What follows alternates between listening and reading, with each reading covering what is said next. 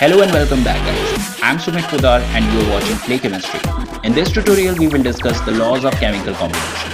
The combination of the elements to form a compound is governed by certain laws called laws of chemical combination.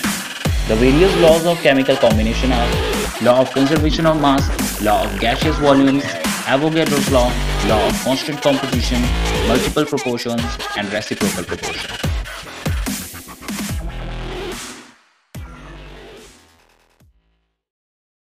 Law of conservation of mass. In all physical and chemical changes, the total mass of the reactant is equal to that of the product. It means there will be no increase or decrease in mass during any physical or chemical change. Physical change. Let's take a conical flask and put 250 grams of ice cubes in it. Close the opening of the conical flask with a cork. Now heat it until it changes to water completely. Now wait again. You will find that it is still 250 grams. There is no change in its weight. So the physical change of the ice into water is following the law of conservation of mass. Chemical change. In a chemical change, mass before and after reaction will remain same. Mass of all the reactants will be equal to the mass of all the products. So let's take an example. Put copper sulfate in a conical flask and immerse a test tube filled with sodium hydroxide in it. On mixing the both reactants completely, we will get blue precipitates of copper hydroxide and colorless liquid sodium sulfate. If the mass of the reactants copper sulfate and sodium hydroxide was like 60 grams, then the mass of the product copper hydroxide and sodium sulfate will also be 60 grams. But in some cases, the mass of the reactants is not equal to the mass of the products. Uranium, which has atomic mass of 235, changes to thorium having mass equal to 231. In this case, mass before and after is not same. There is a loss of 4 units of mass. What is happening to this lost mass? This lost mass changes to energy and the value of the energy will be equal to mc squared where m is the mass lost and c is the speed of light which is equal to 3 into 10 raised to the power 8 meter per second. Now the law of conservation of mass is called law of conservation of mass and energy. According to it, mass and energy are interconvertible, but the total sum of mass and energy during any physical and chemical changes remains constant.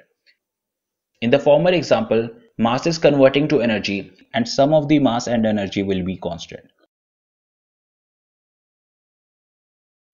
Gay-Lussac's law of gaseous volume. Consider the x volume of gas 1 reacts with y volume of gas 2 to form z volume of gas 3. Then according to Gay-Lussac's law of gaseous volume, this x ratio y ratio z will bear a simple whole number ratio provided the condition of temperature and pressure remains same. Now let's see the statement. It says when gas reacts together, they always do so in volume, which bears simple ratio to one another and to the volume of the products, if these are also gases, provided all measurements of volume are done under similar condition of temperature and pressure. Now let's see an example. On reacting one volume of nitrogen with three volume of hydrogen, we get two volume of ammonia. These volumes bears a simple whole number ratio to one another and to the product. That is 1 ratio 3 ratio 2. Hence, this reaction follows law of gaseous volume. Avogadro's law.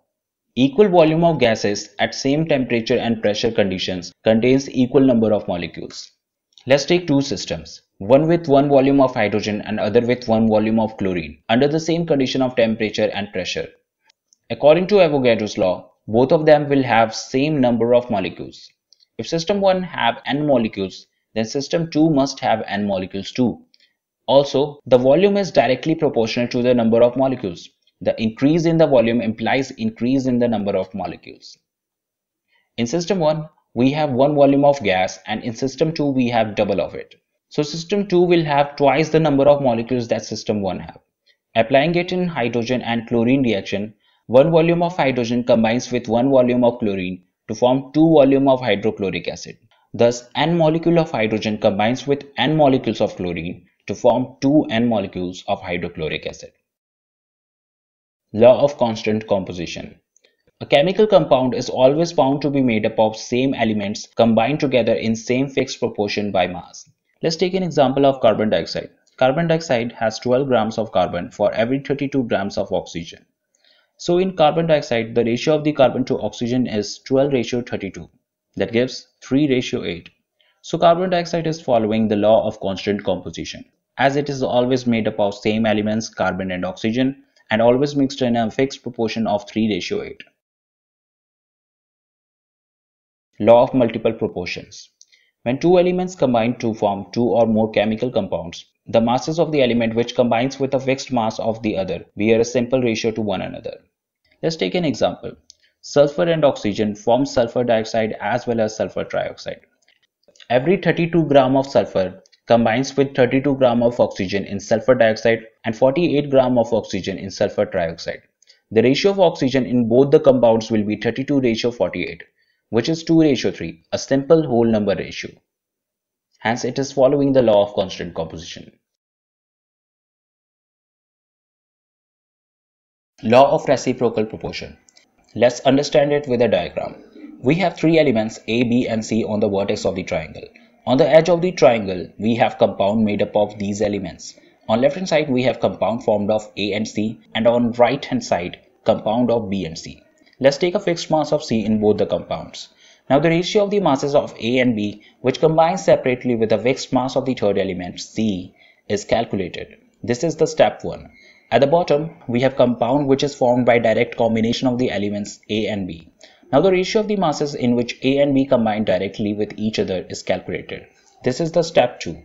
You can observe that the ratio we get from the step 1 and 2 is same or some simple multiple. So according to the law of reciprocal proportion, the ratio of the masses of two elements A and B, which combine separately with fixed mass of the third element C, is either the same or some simple multiple ratio of the masses in which A and B combine directly with each other. Carbon and oxygen combine separately with third element hydrogen to form CH4, methane, and H2O, water. The carbon and oxygen combines directly with each other to form carbon dioxide.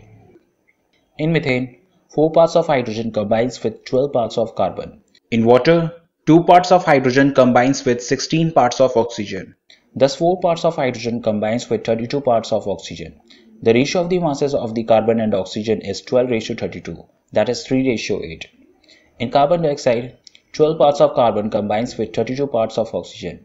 The ratio of the carbon to oxygen in carbon dioxide will be 12 ratio 32, that is also 3 ratio 8. Hence it illustrates the law of reciprocal proportion.